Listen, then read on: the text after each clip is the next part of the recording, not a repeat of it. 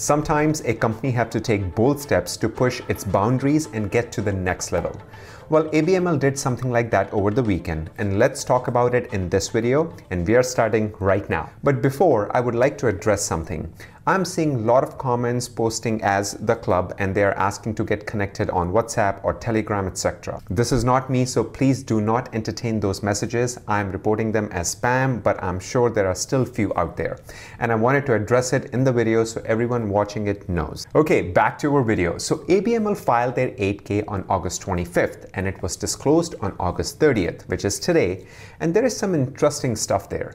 While most of it is bullish, but there is one statement that made me think a little bit. And of course, that could come as a good thing or a bad thing for some of you. Let me know in the comments on what you guys think. And let's start with the good stuff first. Okay, so they disclosed their 8K filing, which I have taken a screenshot over here and I'm gonna uh, blow it up here. So the first piece of news that caught my attention was this. Now it says on August 27, Douglas Cole resigned as CEO of ABTC or ABML, Mr. Cole remained in his position as chairman of the board of directors. The board appointed Ryan Melsert, CTO of the company, to serve as a chief executive officer effective immediately. I mean, we are not investing in ABML because of Doug Cole. That was very clear. We are investing in ABML because of Ryan and the team and also the future potential this company has. So this makes total sense that Ryan takes over as CEO. Now we are getting ready to build execute and produce in the coming months. So this is really, really exciting news. It's really, really bullish and I was actually happy to see this. Now in the same 8K, they have mentioned CFO and CRO, Chief Financial Officer and Chief Resource Officer. What's interesting about their employment is compensation policy. Let's discuss this here and why I think this is a very bullish sign. So right here, I have taken the compensation policy on your screen that you see over here. David, who's their CFO, is getting 300,000 a year as a salary. Scott, who is their CRO, or chief resource officer is getting about 225,000 as the base salary. Along with that, they both are getting some stock-based compensation based on various milestones. Now, if you see over here, 10% major stock exchange uplisting, which will be some of them are saying NASDAQ listing, they have applied for it. But of course, there are some rules that needs to happen before they can actually get listed on NASDAQ.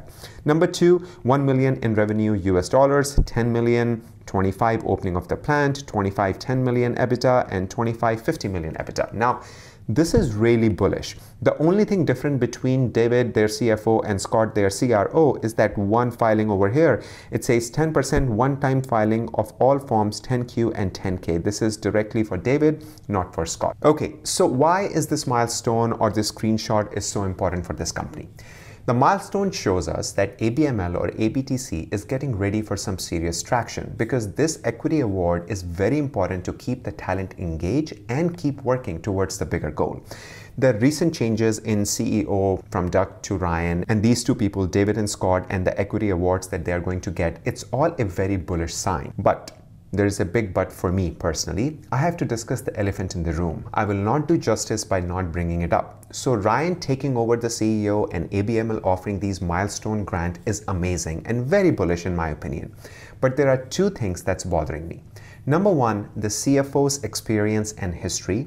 CFO is a key role in company success and looking at their CFO's past experience, tenure, education, I'm not too bullish on his role with the company. Again, my opinion only, he may be wonderful in what he does, but his previous employment has been very short and he has not listed much of his education. I mean, he has not listed his education at all on the LinkedIn and I could only find his education on Bloomberg. Take a look at this. So this is his LinkedIn profile. No photo. Um, the only three uh, jobs that he had that he has listed on LinkedIn is right here, which is 10 months, one year, one year.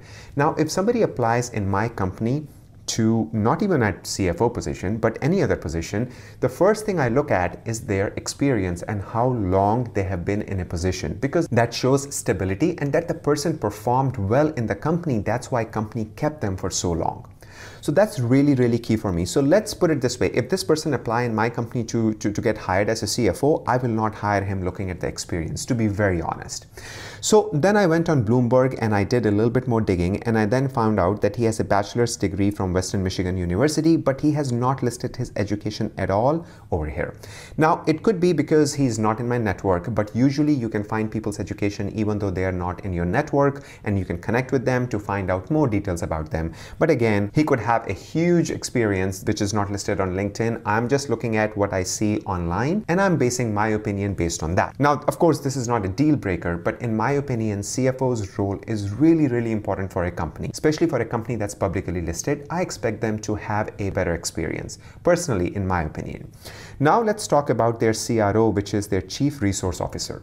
They are bang on on this hire. Like this guy is real deal. If you look at his profile right here, you can see the guy has been involved in mining for majority of his life. Along with that, he's basically doing a lot of other things in that area. He has been involved in mining for most of his life, which is truly great to see because he knows what he's doing.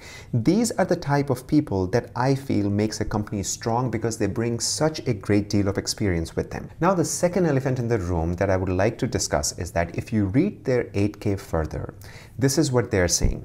So in their 8K, and I'm going to mention it over here, and I'm going to actually read it over here. Over the past few months, Ryan has increasingly taken over day by day leadership responsibility, including setting long term company strategies, leading investor presentation, developing high value strategic partnership. This is all great. This is all great. But this is what they're saying. Doug Cole, Douglas McMillon, and William Hunter have been instrumental in growing the company to where it is today. And as the company now transitioned to its growth stage with a focus on technology development and commercial manufacturing, these directors have informed the company that they do not intend to seek, right here, re election at the annual meeting. Now, I'm a bit surprised that none of the directors want to continue, or, or these three directors wants to continue. Now, this could mean two things. Number one, Ryan Melsert has pushed them out because maybe they're not contributing much and he wants to bring in industry leader to open some doors which is what I would do personally if I was running the company. If a board of director is not contributing to a bigger, bigger picture of the company, then there is no point for them being there. Because the whole point of board of directors is to give vision to the company and help the CEO, CFO, and the team to kind of open doors so they can go and do their thing. And the second reason, the directors are not confident with the future and they don't want to associate their name with the company. Now, I don't believe that's the reason, but of course, I have to look at it as an investor that why is this happening. Another thing I noticed is the huge uptick in the volume on Friday. Take a look over here. So this is the chart for ABML right here on your screen and you see this big green arrow and you see this big green over here. This was Friday 827. And if I go on Yahoo, you can see the volume over here. They are they traded almost 10.5 million shares on Friday 27th. The only good part was that the share closed above where it started. That's the only thing. So that tells me it was not something that they were dumping the shares. Probably the new hires got assigned or they were selling the share, but there were more buyers. That's why the price maintained and actually went up which was really, really good to see. Now, if you see over here, their RSI is looking good, their MACD is looking good, and the price today is actually trading higher, maybe because of the news that Ryan has taken over the CEO role.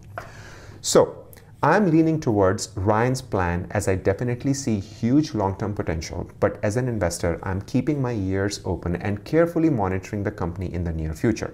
I recently did a video on ABML and the jackpot. Do watch it. I'm going to link it up here where I discussed Ryan's plans with ABML and comment to let me know what are your thoughts on this latest news. I hope I provided some value and if you like the video then please consider subscribing. Click on the like button so we can reach out to more ABML lovers. As always, thank you for joining me. Love you all. Until next time, you all have a sparkling day.